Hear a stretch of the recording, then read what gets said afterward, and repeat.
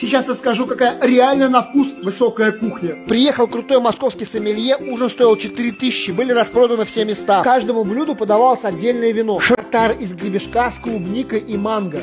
Похоже на сырую кильку с клубничным вареньем. Мы продолжаем наш гастроужин. Стерлядь с картофельным кремом и рыбным жу. А вот это реально вкусно.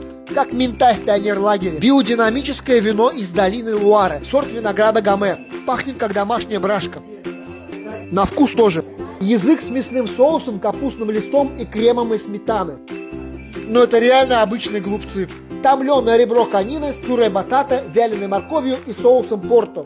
Котлетка со сладкой пюрешкой. А это десерт. Фермерский башкирский красный творог, покрытый бельгийским шоколадом.